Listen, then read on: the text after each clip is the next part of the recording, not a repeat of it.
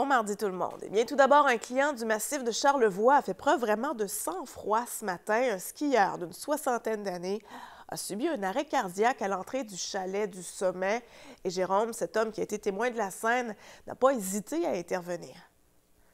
Oui, des manœuvres de réanimation ont été portées par le client. Les patrouilleurs ont poursuivi la manipulation pour réanimer la victime jusqu'à l'arrivée des ambulanciers.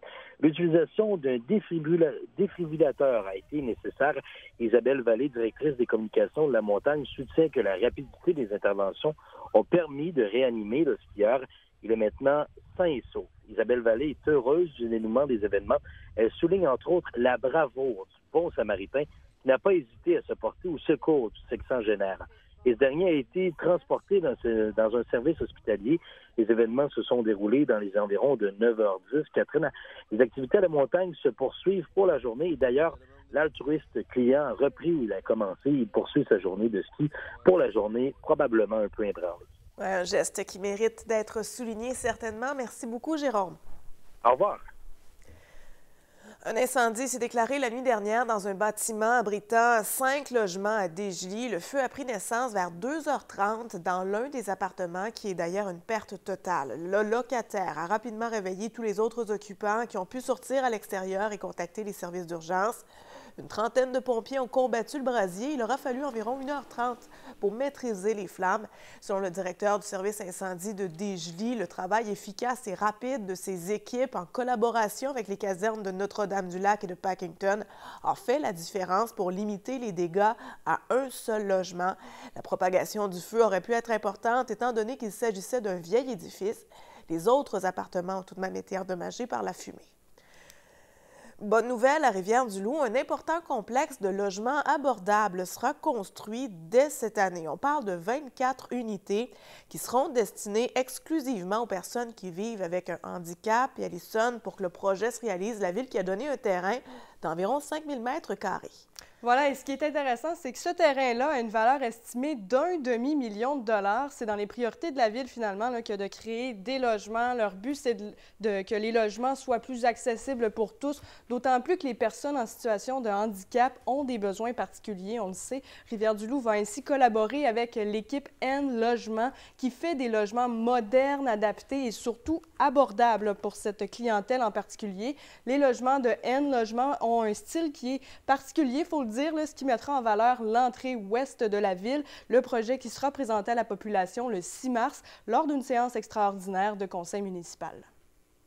C'est le coup d'envoi pour l'entrée ouest en même temps. On pense que ça va venir, euh, euh, si on veut dynamiser ce secteur-là, puis peut-être qu'il y aura d'autres constructions qui se feront dans le même terrain, mais un petit peu plus, euh, si on veut, à l'est. Par ailleurs, le maire qui a fait le point hier soir sur la politique de déneigement qui fait l'objet de plusieurs plaintes. Oui, bien, durant la séance de conseil, comme vous l'avez dit, Mario Bastille a voulu remettre les pendules à l'heure, si on veut. Il comprend mal pourquoi des citoyens qui ont reçu des contraventions pour s'être stationnés dans la rue pendant une opération de déneigement se plaignent. C'est ah, pas clair, c'est pas. Non, non, regarde, c'est clair, là. C'est le site Web à partir de 18 h, tu vas voir si tu peux te stationner. Je pense que c'est important de se responsabiliser. On, permet, on permet quelque chose, me semble, c'est pas compliqué. Mais sinon, on peut revenir au fait que dire, ben, tu n'as plus le droit de stationner dans la rue. Je pense qu'on ne veut pas aller là, on ne veut pas revenir en arrière. Si l'opération de déneigement est faite dans Saint-Ludger, par exemple, le citoyen de Saint-Ludger doit attendre que l'opération soit terminée dans l'ensemble de la ville avant de pouvoir se stationner dans la rue, sans quoi il reçoit une contravention. Rappelons que le stationnement la nuit dans les rues était complètement interdit les hivers précédents. Merci beaucoup, Alison. Merci, au revoir. Les propriétaires de l'entreprise Bosco Charlevoix, qui offre des excursions en traîneau à chien à Saint-Siméon, ont eu toute une frousse la semaine dernière. Un motoneigiste qui circulait sur le sentier fédéré est passé sur leur terrain à haute vitesse, soit environ à 100 km à l'heure, et a failli happer mortellement leurs six chiens. Ils soutiennent avoir pourtant installé euh, de la signalisation sur leur terrain privé. Et en raison de cet incident, l'entreprise a fermé leur clôture afin de bloquer l'accès aux motoneigistes. Invitent les citoyens à respecter leurs décisions et à ne pas passer sur les côtés des barrières. On le sait, la pandémie qui a incité plusieurs personnes à déménager à l'extérieur des grands centres urbains. On pourrait croire que cette tendance allait s'essouffler, mais c'est plutôt l'inverse qui est observé. Marie-Hélène, l'organisme Place aux jeunes, qui remarque que l'intérêt pour venir s'installer ici au KRTB continue d'augmenter année après année depuis trois ans. Oui, c'est ça. Comme vous l'avez dit, depuis le boom migratoire provoqué par la pandémie, le nombre de jeunes qui décident de venir s'installer au KRTB euh, est en constante augmentation. J'en ai d'ailleurs discuté avec un agent de l'organisme Place aux jeunes Kamouraska, Louis Lahaye-Roy, dont le mandat est d'attirer et d'aider les jeunes diplômés âgés entre 18 et 35 ans à venir s'installer en région. Euh, pour séduire les jeunes, il mise sur les relations interpersonnelles. D'ailleurs, il me disait que la peur d'être isolé socialement serait une des principales craintes des jeunes qui viennent s'établir en région. Mais selon Louis-La ce serait un préjugé et au contraire, la communauté est ici très serrée.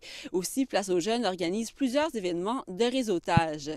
Aussi, si l'objectif de Place aux Jeunes en région est de mettre de l'avant les attraits de venir s'y installer, il est aussi nécessaire de calibrer les attentes, notamment en lien avec les grands événements culturels.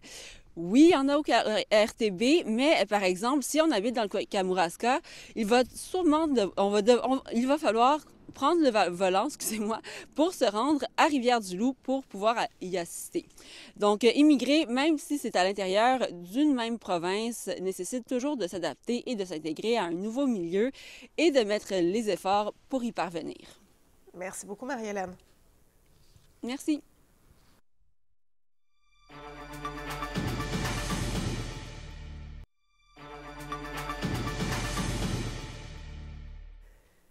C'est le retour à de la saison des impôts et dans certaines régions, se trouver un comptable semble plus difficile. Certaines firmes qui ont décidé de ne plus offrir ce service aux particuliers, Mylène, d'autres conseillent aux citoyens de commencer à faire eux-mêmes leur déclaration de revenus. Oui, Catherine, la méthode la plus simple pour s'acquitter de ses obligations et pour profiter des crédits et des remboursements auxquels on pourrait avoir le droit, c'est de réunir tous ces documents et de faire sa déclaration en ligne. En effet, il peut être difficile pour la population de se trouver des préparateurs qualifiés dans le Nord-Ouest mais les cabinets font toujours en sorte d'accueillir de nouveaux clients particuliers ou entreprises malgré une demande criante. Justement, certains cabinets comme Raymond Chabot Grand Thornton à Edmundston a pu nous expliquer qu'ils encourageaient surtout les gens à faire leur déclaration de revenus sur Internet. Il s'avère être un moyen plus facile et une situation de recours pour les personnes qui ne trouvent pas de cabinet. Mais faire sa déclaration coûte de l'argent, bien sûr.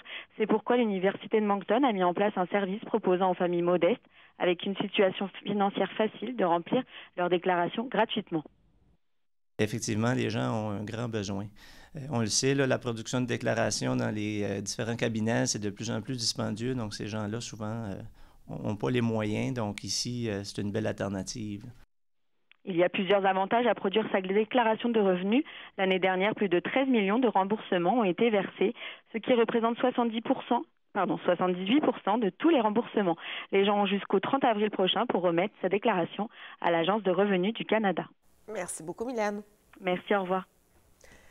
L'été, ça semble encore loin, hein, mais la MRC du Témiscouata s'active pour lutter contre la moule zébrée. Le comité formé d'élus, de citoyens, d'experts ont élaboré un plan d'action pour réduire la propagation de cet indésirable et d'autres espèces aquatiques envahissantes. Huit nouvelles stations de lavage pour les embarcations. Elles seront notamment ajoutées dans la MRC. Un site web sera prochainement mis en ligne également avec toutes les informations pertinentes pour les plaisanciers et les touristes.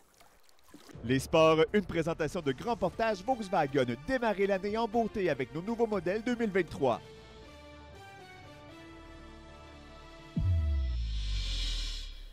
Le Blizzard poursuit sa domination sur les patinoires de la Ligue junior A des Maritimes. Les représentants d'Edmundston ont vaincu facilement par la marque de 6 à 2 les Red Wings de Fredericton dimanche, devant une bonne foule de 2150 personnes. Encore une fois, Olivier Coulombe a montré sa supériorité avec trois autres points au compteur. Et grâce à cette victoire et le premier rang de sa division, le Blizzard obtient la 20e place du prestigieux classement des 20 meilleures équipes juniors à l'échelle canadienne. Et parlant de reconnaissance, les formations du Témis et du Blitz ont excellé lors du tournoi interprovincial de ballon sur glace présenté sur les patinoires du nouvel Arena Cascade de Témiscouata sur le lac et de Dégely. C'était de vendredi à dimanche. Elles ont tout raflé dans la classe M16, autant au niveau masculin que féminin. Au total, les équipes ont mis la main sur quatre trophées. Plus de 500 joueurs et joueuses, ainsi que la présence de 2000 spectateurs, ont fait de ce tournoi un grand succès, comme c'est toujours le cas d'ailleurs avec l'Association de ballons sur glace du Témiscouata. Et l'événement Grimpe en ville était de retour le week-end dernier au Parc des Chutes de Rivière-du-Loup. Après un an d'absence, la neuvième édition de cet événement a permis à plusieurs grimpeurs, euh, à plusieurs de grimper, l'impressionnant mur de glace du Parc des Chutes. Et pour certains, il s'agissait de leur toute première expérience en escalade sur glace. C'était le cas pour l'inspirante Pierrette Saint-Don, 87 ans, qui a enfilé pour la première fois les crampons pour grimper cette muraille glacée à sa neuvième année en tant que bénévole. La météo, une présentation d'Accent Meubles Déco Centre Levasseur.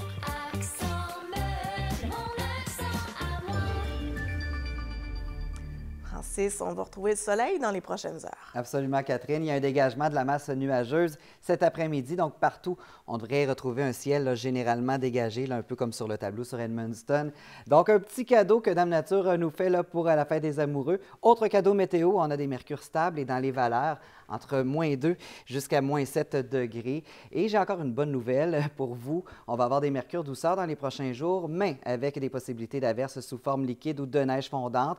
Donc, vous avez bien compris. Mais juste avant, là, on regarde ce que nous réserve ce soir. Donc, ça devrait être dégagé sur Rivière-du-Loup. Il y aura quelques nuages sur Charlevoix et Edmundston. Donc, les mercures diffèrent selon les régions, mais on a un écart d'environ 10 degrés euh, supérieur aux valeurs saisonnières donc entre moins 13 degrés euh, jusqu'à moins, euh, jusqu'à moins 5 degrés, moins 3 degrés. Alors voilà, donc demain, la masse nuageuse prend le contrôle. La grisaille va s'installer sur Edmundston avec de bonnes possibilités d'averses de pluie ou de neige en mi-journée sur euh, la rive nord et la rive sud du fleuve, mais la pluie intermittente ou la neige devrait débuter un peu plus tard en après-midi.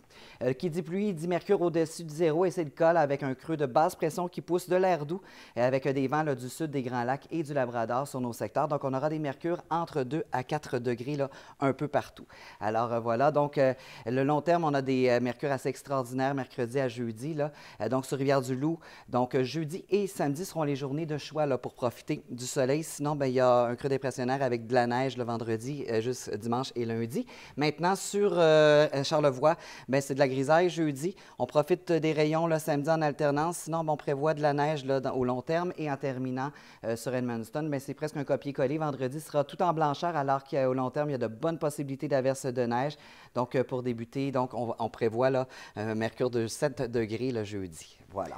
Un petit aperçu du printemps, déjà. Petit, On aime ça, non, c'est ça. Hein. Mais l'hiver n'est pas fini, loin de là. Merci beaucoup, Francis. Je vous en prie. Alors voilà, passez un très bel après-midi.